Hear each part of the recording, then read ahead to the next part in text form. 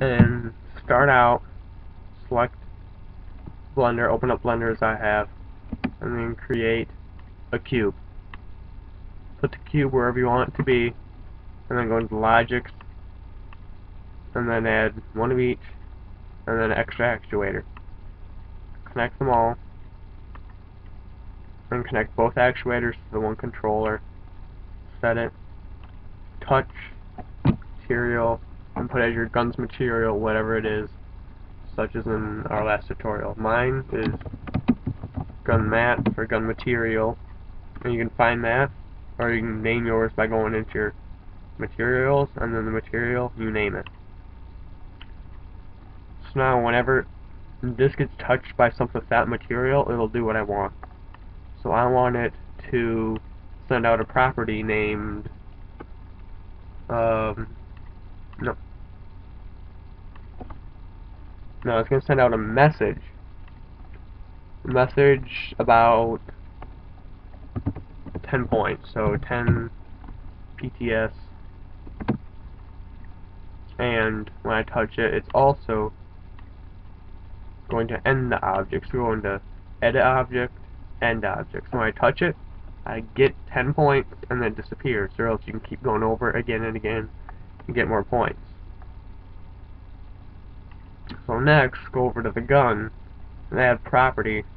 In that property, money. And then click that little D and add that to int that stands for integer and that D will show a little counter that tells you how much of that property you have. Next step is add one of each to here and then set it for message. So when I receive that message, 10 points, it is going to increase that property. So that property is going to be my money, you could say. So when I get that message, it's going to add to money value, you gotta do plus, or you can do minus if it's like a bad object. That's gonna do like plus 10, you could say. And then now if you go view, camera, play, see up in the top left it says gun money. Gun, that's the object, and the money is the property, so when I go up and touch the object, Oh, I just got 10 points. And then, if you want, you can check out some of my friends.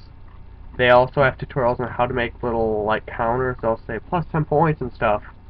Because in a real game, you probably don't want that little thing, and I'm not entirely sure, but it also might not show up.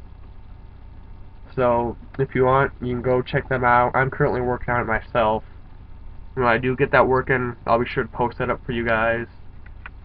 But for now, just deal with that or check out one of their videos. And then the next tutorial, I'll try and get into like a health bar. And that also has to do with properties. And for now, that's it.